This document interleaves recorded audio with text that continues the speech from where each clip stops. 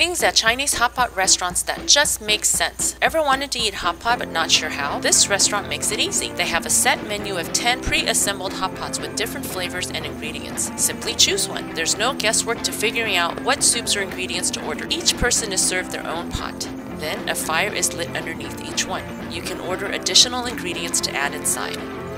Once your ingredients are done cooking, you can dig in. As an added bonus, you get free tea if you come during lunch hours.